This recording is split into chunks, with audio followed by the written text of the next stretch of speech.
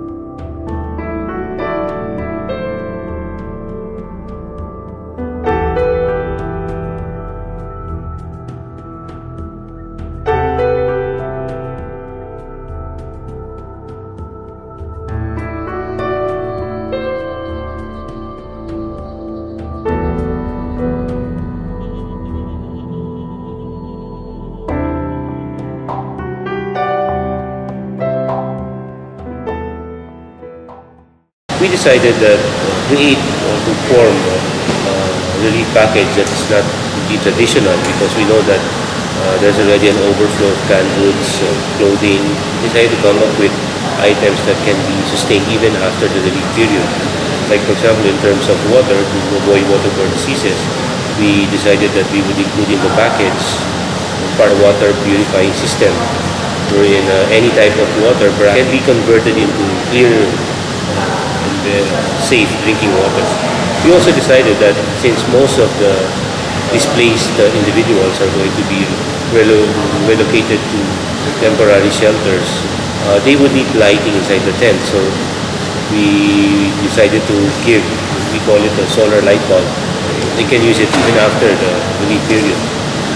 Another item that uh, we are actually including in the package is a wind-up radio.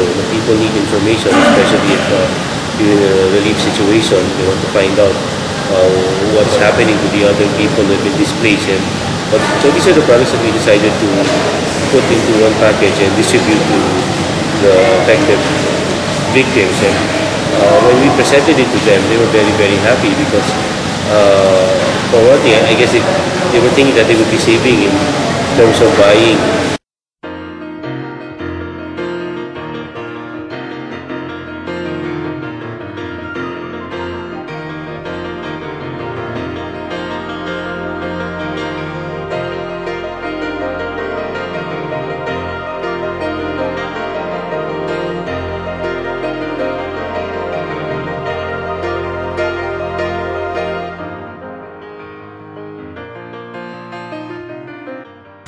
in the future or in the helping very much on non-food items like kitchen utensils, uh, other uh, things in the house. But I mean, Balay Mindanaw will be focusing on psychosocial uh, intervention because we believe that if we have about uh, 9,000 families affected by the floods and they will not be assisted or uh, journeyed with in the processing of their experiences both very painful in terms of losing their material things and uh, for some losing their loved ones.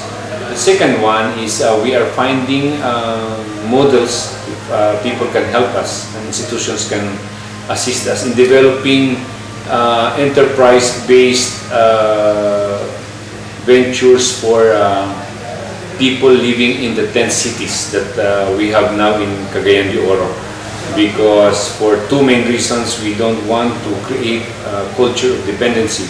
And at the same time it is also a way of uh, trauma healing. It's a creative way of releasing their tensions through uh, productive uh, work based on their skills based on their culture and most especially based on their emotional uh, situation right now